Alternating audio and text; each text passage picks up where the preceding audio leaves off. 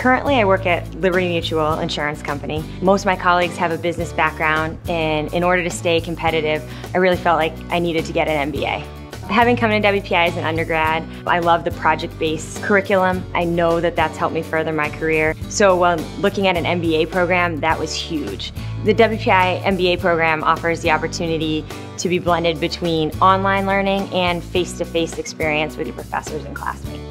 The online component is easy to use. They bring everything that you need into one portal, one web page for you, uh, so it's all right there to find. And if you do have any issues, the technical support is great. They're really responsive. As a woman in business, it was important for me to go to a school that offers that equal opportunity and challenge uh, to both men and women. Building this foundation of business um, for myself, I think, is, is really the edge that I need. You definitely need to be collaborative with other people. There's so many good ideas out there, and it's when they knock together that you get a really great result. I'm a full believer in teamwork, and I think that's where your best leaders come those who can synthesize a team and get them to execute.